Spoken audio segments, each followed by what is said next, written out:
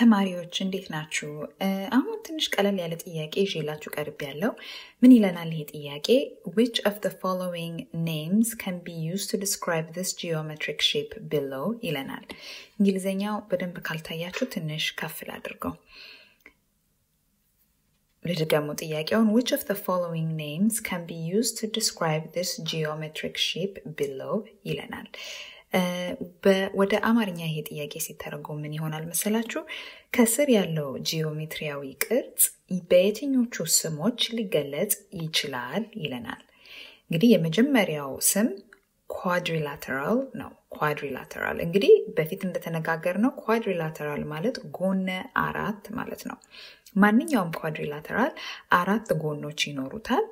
quad ማለት አራት ማለት ስለሆነ በላቲን በላቲን ቋንቋ እና ደግሞ ማሰብ ያለብን ነገር ቢኖር ዝግ የሆነ ቅርጽ መሆን አለበት። ለምሳሌ አራት ጎን ኖሮት እንደዚህ ነገር ግን ዝግ ያልሆነ ቢሆን ይሄ ኳድሪላተራል ነው ልንል አንችልም። አያችሁ፣ ይሄ ቅርጽ ለምሳሌ እዚህ ጋር አልተዘጋም። ስለዚህ የግድ ዝግ የሆነ ቅርጽ መሆን አለበት። እንደዚህ አይነት ነገር ማለት ነው። ዝግ የሆነ ቅርጽ መሆን አለበት። እንደገና አራት ጎኖች እንዲኖሩት ያስፈልጋል። እና አሁን ይሄ ጥያቄ የሚያተኮረው እዚህ በቀኝ በኩል ባለው ቅርጽ ላይ ነው እና ይሄ quadrilateral ነው ወይ ብለን ልንገልጽ እንችላለን? አዎ። ለምን? ይኸው አንድ፣ ሁለት፣ ሶስት፣ አራት sides ወይም ጎኖች አሉት። ስለዚህ በትክክል ነው፣ quadrilateral ነው ይሄ ቅርጽ። ሁለተኛው የተሰጠን ስም ደግሞ parallelogram parallelogram ወደ አማርኛ አንዳንድ ጊዜ ሲተረጉም ያደናግራል። parallelogram ነው እንግዲህ። parallelogram የተባለው ቅርጽ ለምንድን ነው parallelogram የተባለው? ያው parallel የሚለው ቃል parallel የሚለው ቃል ምንድን ነው የሚገልጸው መሰላችሁ? ትይዩ የሚለውን ሀሳብ ይገልጻል። ትይዩ ማለት መቼም የማይገናኙ ሁለት መስመሮች ማለት ነው እና parallelogram ሁለት ጥንድ የማይገናኙ መቼም የማይገናኙ ትይዩ የሆኑ ጎኖች አሉት። እንግዲህ ይህንን ይህንን ጎን ወይም ይህንን side ብናየው እና ይህንን side ብናየው ከዚህ እና ከዚህ ጋራ በዘጠና ዲግሪ ነው የተገናኙት ማለት ነው። በዘጠና ዲግሪ ነው። ስለዚህ ምን ማድረግ ምን ማለት እንችላለን? ይሄና ይሄ parallel ናቸው። parallel ናቸው። እንደዚህ እንደዚህ አይነት መስመር ማድረግ እንችላለን። ይሄና ይሄ parallel ናቸው። በተጨማሪ ደግሞ ይሄና ይሄ ደግሞ parallel ናቸው። parallel ማለት ምንድን ነው? ትይዩ ናቸው ማለት ነው። ይህንን ጎን ከዚህ ቅርጽ በላይ አስረዝምን እንደዚህ ድረስ አስረዝምን እዚህ ጋም እንደዚህ አድርገን እስከ መጨረሻው ብንቀጥል እነዚህ ጎኖች ወይም እነዚህ መስመሮች መቼም ሊገናኙ አይችሉም። ብንቀጥላቸውም ወደፊት ብንቀጥላቸውም ሊገናኙ አይችሉም። ስለዚህ ትይዩ ወይም ፓራሌል ናቸው ማለት ነው። ስለዚህ ወደ ጥያቄው እንምጣ። ይህ ቅርጽ ፓራሌሎግራም ተብሎ ሊሰየም ይችላል?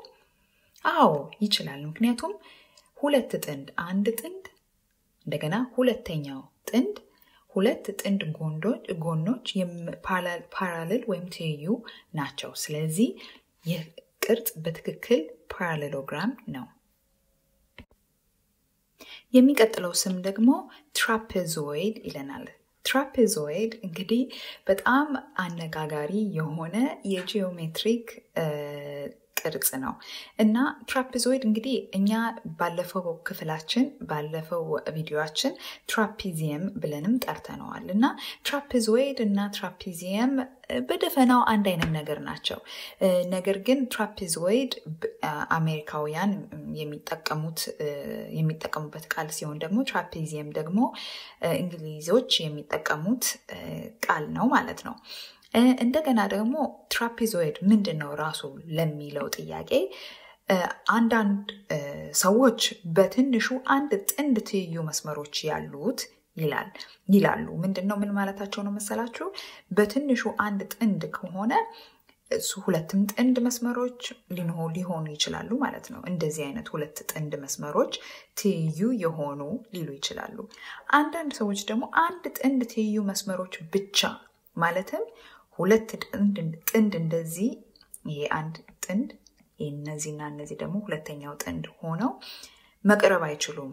አንድ ጥንድ ትይዩ መስመሮች ብቻ ነው መኖር ያለባቸው።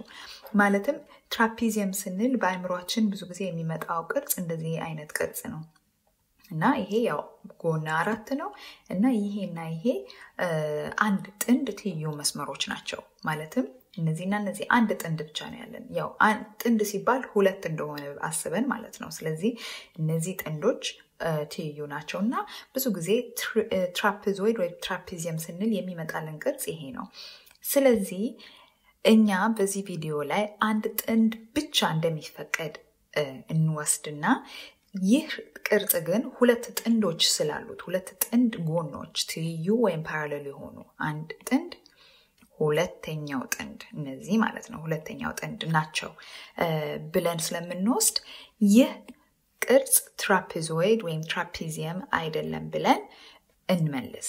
ግን አወዛጋቢ ነው ይህ ስም ይህ ቅርጽ። እስካሁን ድረስ በሂሳብ ዓለም ውስጥ ጥርት ያለ መልስ አልተገኘለትም። አራተኛው ስም ደግሞ ተማሪዎች rhombus የሚለው ነው። rhombus እንግዲህ በፊት በተማርንበት መሰረት rhombus quadrilateral ነው፣ ማለትም ጎነ አራት ነው። እንደገናም ደግሞ እያንዳንዱ ጎን ሁሉም አራቱም ጎን እኩል ናቸው ነው የሚለን እና ብዙ ጊዜ rhombus የሚለውን ስም ስንሰማ እንደዚህ አይነት ቅርጽ ነው በሀሳባችን የምንስለው። አሳሳል እኮ አልችልበትም። እንትኖቹ ጎኖቹ ሁላ እኩል የሆኑ እንደዚህ አይነት ነገር ነው የምናስበው። ወይኔ ሲያስጠላ። እንደገና ልሞክር። አሳሳሌ በጣም ነው የሚያሳዝነው። እስቲ እንደዚህ አይነት ነገር አይማርክም ነበረ። እስቲ እንደዚህ ነው እንበል እና ሁሉም ጎኖች እኩል ናቸው። ይሄ ጎን እነዚህ ሶስት ጎኖች አራቱም ጎኖች እኩል ናቸው። ስለዚህ ይሄ ለምሳሌ ስድስት ሴንቲሜትር ቢሆን ይሄ ሁሉም ስድስት ሴንቲሜትር ናቸው ማለት ነው። ግን የተሰጠንን ይሄኛውን ማለት ነው የተሰጠንን ቅርጽ ብናይ ይሄ ረዘም ያለ ይመስላል። እነዚህና እነዚህ አጠር ያሉ ይሄና ይሄ ረዘም ያሉ ይመስላል እንጂ ጎኖቹ በጠቅላላ እኩል አይደሉም። rhombus ደግሞ የግድ ጎኖቹ ሁላ በጠቅላላ ሁሉም እኩል መሆን አለባቸው ነው የሚለን። የግድ ዘጠና ዲግሪ አያስፈልጋቸውም። ማለት ከሁለት አጠገብ ላጠገብ ያሉ ጎኖች ወይም sides መሀል ያለው angle የግድ ዘጠና ዲግሪ መሆን የለበትም። ነገር ግን ሁሉም ጎኖች እኩል መሆን አለባቸው ወይም በእንግሊዝኛ congruent በጂኦሜትሪ አጠራር congruent የምንለው ነው። congruent ማለት ልክክ የሚል አንዱ ይሄ ጎን እዚህ ጎን ላይ ቢለጠፍ ልክክ ይላል ማለት ነው። ስለዚህ ይህ ቅርጽ በተነጋገርንበት መሰረት rhombus የሚባለው ቅርጽ አይደለም። ስለዚህ አሁን ወደ መጨረሻው እንሄድ።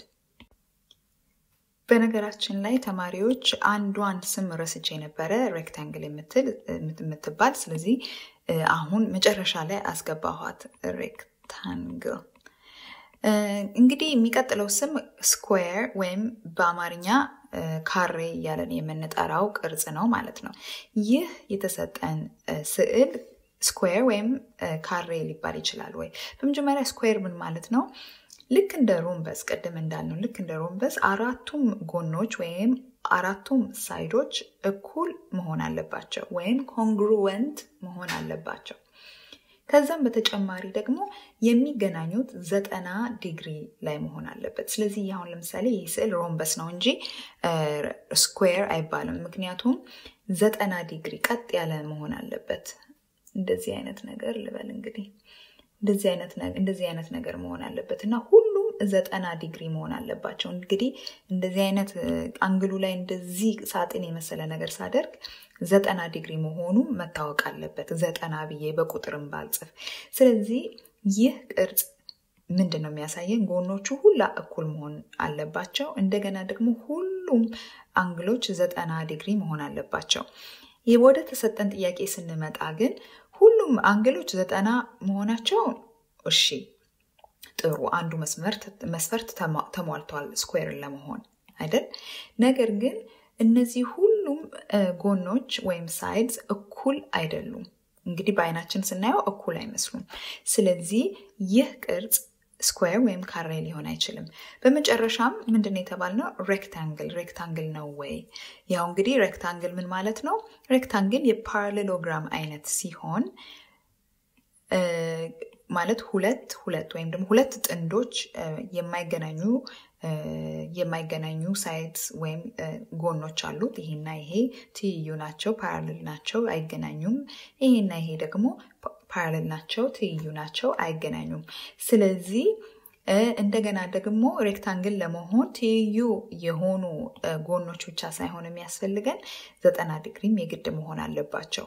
ሁለቱ አጠገብ ላጠገብ ያሉት ጎኖች ሲገናኙ በዘጠና ዲግሪ ነው መሆን ያለበት እና ይህ የ rectangle ን መስፈርት ስለሚያሟላ በእርግጠኛነት እንደውም በደንብ የሚገልጸው rectangle የሚለው ስም ነው ማለት ነው። ስለዚህ በዚህ ሁኔታ ጥያቄውን መለስን።